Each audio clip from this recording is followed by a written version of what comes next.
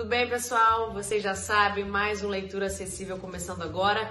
E assim tem sido sempre aos domingos, 3 horas da tarde, aqui no meu Instagram, uma história nova para criançada.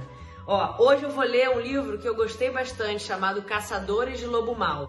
O livro capa roxa, eu tô mostrando, escrito em branco, uma sombra meio assim de uma criatura de lobo mal mesmo, meio estranha, e uns pezinhos na parte de cima, ou fugindo ou caminhando. Vamos entender nessa história o que, que esses pezinhos estão fazendo. Eu tô hoje com uma camisa laranja e vou ler para vocês Segundo a leiturinha, que manda um material sempre muito legal, como eu já falei, eles explicam o que, que esse livro incentiva, que sentimentos ele aflora. E sobre Caçadora de Lobo Mal, eles dizem o seguinte: essa história é sobre sentimentos inevitáveis, que a gente não tem como lutar contra, sentimentos que a gente sente a todo momento e com frequência, que são o medo e a coragem. Vamos ler? Caçadores de Lobo Mal. Começando agora. Aparece já uma porta com desenhos de lobo mal colados nela. Desenhos feitos à mão por algumas crianças. Lobo mal desenhado, tem gato, tem também um boneco levando um susto. E diz assim: toque, toque, toque. De novo era ele quem vinha. Toque, toque, toque. Aqui já os olhos do lobo mal vermelhos e ele com um pelo roxo escondido atrás da porta. Quem tá aí? perguntavam as crianças. É o lobo, respondia a voz do outro lado da porta. E aqui, uma criança sentada no chão, vendo uma sombra de umas garras que parecem ser do lobo. Uma sala de aula parece, paredes roxas, um sol na parede, um banco lá no cantinho da sala e uma janela de onde está vindo uma luz, deve ser do sol, mas a sombra das garras do lobo está projetada no chão dessa sala. Agora era isso. Todos os dias o lobo batia na porta da sala de aula de menino. Sua sombra passava pela janela todas as tardes, assustando as crianças. Menino era o que mais sentia medo. Ele fechava os olhos bem apertado só para não ver a danada da sombra do lobo. Mas era só abrir os olhos que lá estava ela, olhando para ele. Menino aparece com um olho aberto e outro fechado, ele tem um óculos vermelho, cabelo louro e o lobo encarando o menino. O lobo com pelos roxos e esse olhão vermelho encarando o pequeno do menino. E aqui de novo a sombra do lobo aparece, dessa vez já com as garras, também a boca e vários dentes. E as crianças assustadas olhando para cima, aquela sombra gigante uma sentada, as outras em pé, apontando para o lobo. Tem um desenho de lobo no chão da sala e uma tesoura também, deviam estar tá cortando alguma coisa. Olha a sombra do lobo ali! gritava uma das meninas. E era um alvoroço na sala. Corre para um lado, corre para o outro, até que a sombra sumia e tudo voltava ao normal. Aqui já sem a sombra, eles aparecem mais tranquilos, brincando. Tem uma criança com uma máscara, tem outras correndo, mais uma vendo um desenho na parede. Ou seja, a sombra aparecia à tarde e eles se assustavam. Quando a sombra ia embora, tudo voltava ao normal. As crianças saíam para brincar no pátio e a brincadeira preferida era justamente caçar lobos. Para sorte delas, na escola tinha um bosque. Escuta só, olha o barulho do lobo. Escutei um uivo. Você não escutou? Uivo é aquele barulho que o lobo faz assim, ó. Esse mesmo. E elas aparecem no bosque correndo.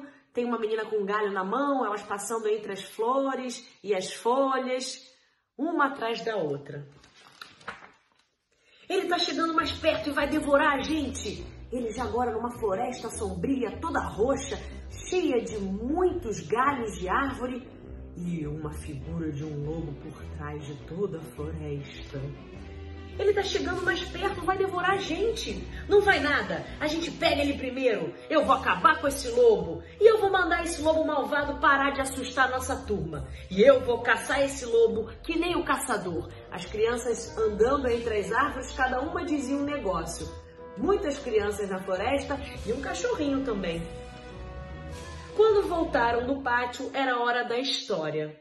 Todos pediram novamente. Conta, Luísa, conta a história do lobo mau e da Chapeuzinho Vermelho. Mas vocês não se cansaram dessa história não, gente? E aqui eles implorando para a professora. Aparece só da cintura para baixo da professora, as pernas dela, uma calça roxa, um sapato vermelho e três crianças segurando a perna dela, sorridentes, implorando pela história do lobo e da Chapeuzinho Vermelho. E Luísa começava tudo novamente, já que elas pediram, né? Era uma vez uma menina chamada Chapeuzinho Vermelho. Duas meninas começaram a chorar, mas não deixavam a Luísa parar de contar a história de jeito nenhum. Tinha um que sempre pedia: Ai, chega logo na hora daquele medinho bom.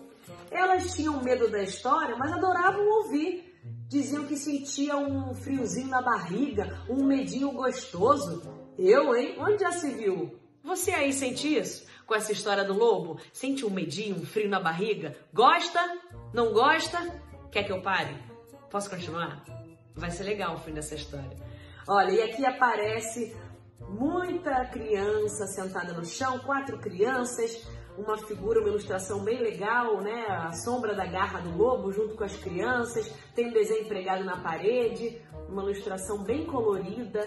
Tem também as roupas aqui, ó os acessórios das crianças e da professora pendurados numa espécie de cabideiro, bolsa, tem encharpe, tem guarda-chuva, tem casaco. Olha que legal. E menino esperava ansioso pela parte que mais gostava, quando o caçador abria a barriga do lobo e salvava a Chapeuzinho. Aqui a figura dessa parte da história, Chapeuzinho vermelho dentro da barriga do lobo. O lobo sempre roxo a garra dele, os dentes e a boca. De tanto ter que ler histórias de lobo para a turma, Luísa, que era professora, criou com as crianças uma receita para caçar lobo mau. A figura é de um caderno e a receita é escrita, olha. Ler todas as histórias do lobo mau.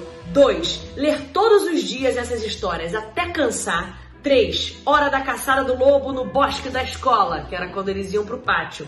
4. Armadilha para lobos na porta da sala de aula.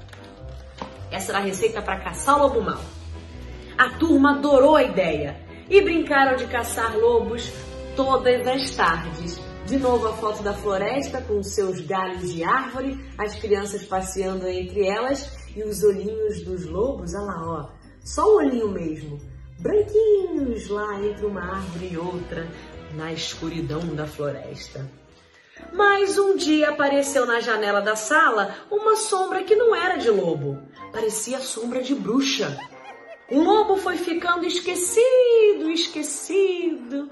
O medo que elas sentiam da sombra do lobo, agora que apareceu a sombra da bruxa, era o que dava medo nas crianças. Aqui, ó, uma cortina balançando naquela janela onde aparecia a sombra da bruxa. Eu vejo aqui uma bruxa, ó. Aqui seria o chapéu dela é que tá difícil de identificar. Eu acho que era uma coisa meio enigmática mesmo. Talvez o cabelo aqui, ó, o rosto, perfil dela e o corpo. Não dá para identificar muito, fica aí na imaginação de cada um. Agora, Luiz e as crianças andam às voltas com as histórias de bruxa. Termina com a foto de uma meia-lua, um símbolo bem típico de bruxa, né? Crianças andando na vassoura, uma mão com unhas vermelhas, muitas estrelas e as crianças voando como se fossem as bruxas. Última foto, garras do lobo mau, com uma criança, um gatinho e uma cachorra na vassoura. Duas figuras que deram medo nas crianças, mas a figura do lobo, enquanto aparecia a sombra do lobo, dava medo nas crianças. Depois pararam de ter medo do lobo e aí a figura da bruxa que tomou o lugar de amedrontar aquelas crianças. E a própria leiturinha agora incentiva e estimula a conversa entre vocês responsáveis, pai, mãe, tio, vó, avô, irmão, quem tiver aí e as suas crianças. Eu quero saber das crianças principalmente, quantas histórias de lobo mal vocês já conhecem? Quantas? Pensa aí, Chapeuzinho Vermelho, tem um monte de história que aparece o lobo mal, né? E o que que dá mais medo em vocês? O lobo mal ou a bruxa? Quando vocês pensam no lobo mal ou na figura da bruxa? E sem ser essas figuras, do que que vocês têm medo? De escuro? De ficar sozinho? Isso é besteira, gente. Tem que ter medo disso não. Vocês são fortes, são do bem. Vocês não conhecem as histórias, sempre que a gente lê aqui, inclusive? O que que vence no final? O bem sempre vence o mal. Então, enquanto a gente for do bem, não precisa ter medo de nada. Vocês vão vencer o escuro, o lobo mau, a bruxa, esse medo de ficar sozinho também. Combinado? Esse foi mais um Leitura Acessível. Amei essa história. Agora vocês fiquem aí com essa sementinha para conversar e brincar bastante em família. Um beijo para vocês. Até domingo que vem, 3 horas, tem outra história aqui. Beijo!